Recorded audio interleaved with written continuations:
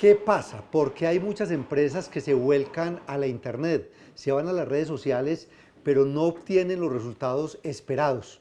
Aquí hay que comprender que se compite no por el espacio, sino por el interés de las audiencias. Competir por el interés de las audiencias, el tema que vamos a desarrollar hoy con Carlos Betancourt de BTO Digital Colombia. Bienvenido, Carlos. Muchísimas gracias, Juan. Eh, gracias por estar con tu selecta audiencia del canal de YouTube y del programa de negocios en tu mundo. Y vamos a desarrollar este tema hoy. A la hora de generar interacción es muy importante hacer preguntas que motiven que haya respuestas por parte de quienes están viéndonos en las redes sociales. Vamos a ampliar ese tema, Carlos. Juan, efectivamente uno de los temas principales hoy con las redes sociales es que muchas empresas se han volcado y precisamente están preocupadas porque no obtienen los resultados esperados. ¿Y qué esperaría uno en una red social? Interacciones, comentarios, pero lo que hay que fomentar es que esto ocurra. Y uno de los puntos importantes es hacer preguntas, que la audiencia se sienta integrada con tu marca. Y además eh, hay que entender que ya las redes sociales son de dos vías. La comunicación antes publicitaria era de una sola vía, un anuncio en el metro, un anuncio publicitario en una valla, es de la empresa hacia ti, pero la red social nos está dando la posibilidad de comunicarnos en dos direcciones. Hay que fomentar que la gente pregunte.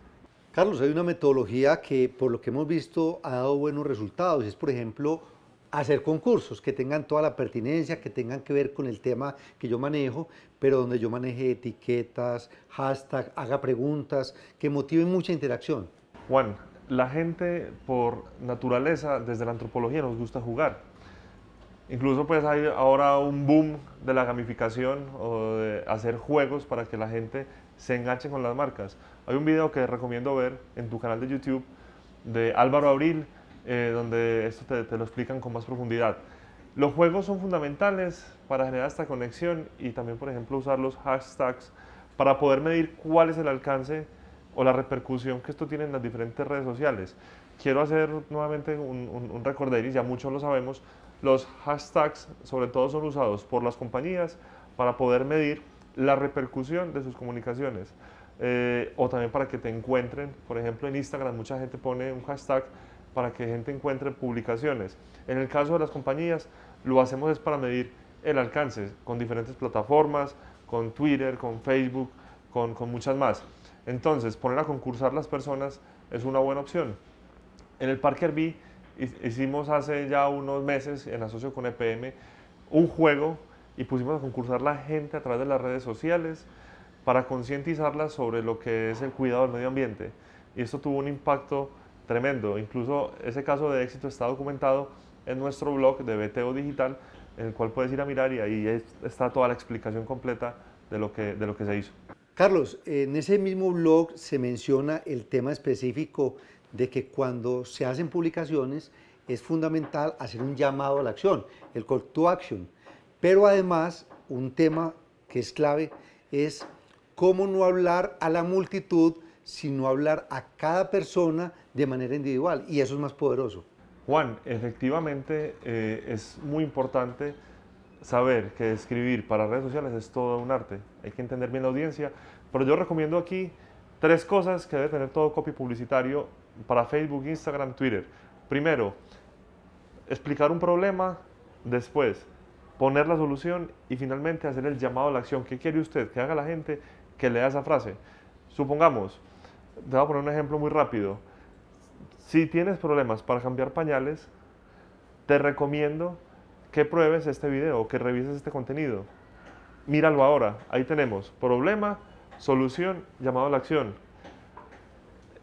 Crear contenidos para las redes sociales puede ser complicado, sin embargo, hacerlo es sencillo siguiendo esos tres pasos. Coma, conócelos aquí. Entonces mira que ahí está el componente de los, eh, del copy publicitario que es fundamental para que esto funcione. Juan, y la segunda parte es fundamental yo quiero preguntarte y también a la audiencia, ¿ustedes ven el Facebook o Instagram con más personas o lo ven solos? Normalmente es una persona. Lo ven una sola persona. Entonces, aunque parece que es un, ejercicio de masas, finalmente las redes sociales son un ejercicio individual. O sea, tu audiencia es, es compuesta por muchas personas, pero lo está viendo una persona a la vez. Entonces, está bien que no escribas para todas las personas, sino que escribas en singular.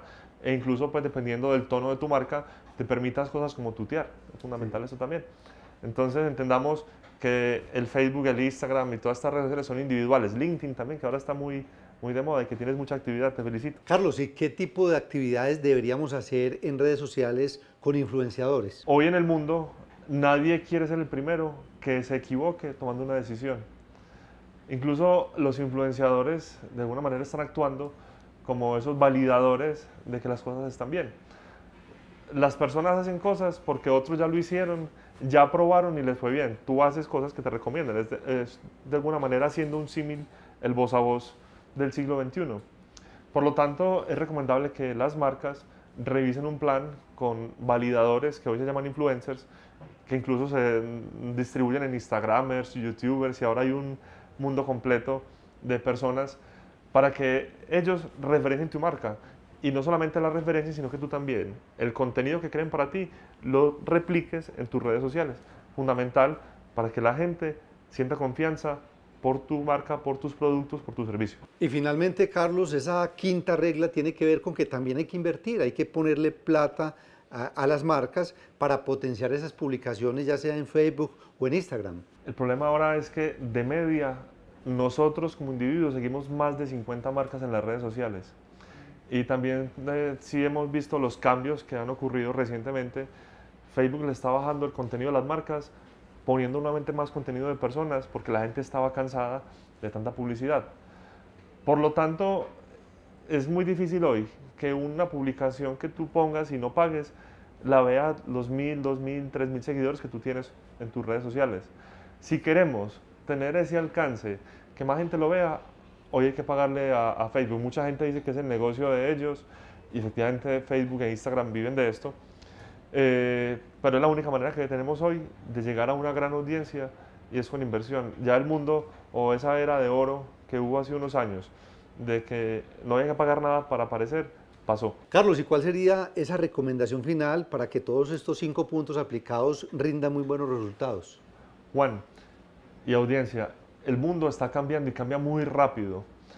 Lo que funcionaba hace seis meses, posiblemente hoy funcione mejor o no funcione esto es un llamado a estar siempre formándose, a seguir los blogs de social media, hay muchísimos, y si quieres después hacemos un listado y los mandamos a, la, audiencia, a estar conectados y haciendo pruebas, experimentos, también hay que entender que está funcionando y que no, pero también hay que saber que esto no es una caja milagrosa, que precisamente hay que tener todos estos ingredientes controlados, hay que estar informado, hay que estar a la vanguardia para que esto funcione bien. Carlos, muchísimas gracias. Este es Negocios en tu Mundo, inspiración para la acción.